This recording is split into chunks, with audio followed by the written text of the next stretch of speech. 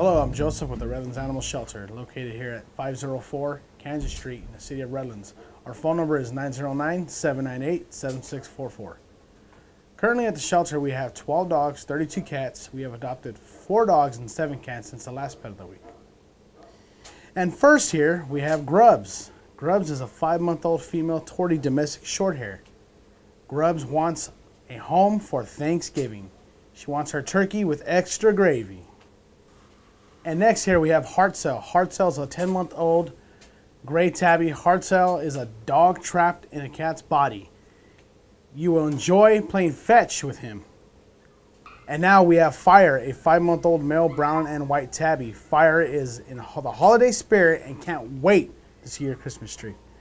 And the last cat of the day, we have Lucky. Lucky is a five year old female domestic short hair, Tortie. You would be lucky to have Lucky in your life. She brings positive vibes and is very energetic. And now we have Also. Also is a six month old male black and white terrier mix. Also will bring the winter storm with his excitement and happy personality. And next is Russell. Russell's a two year old German Shepherd, black and brown. Russell is a ray of sunshine and is always in a good mood.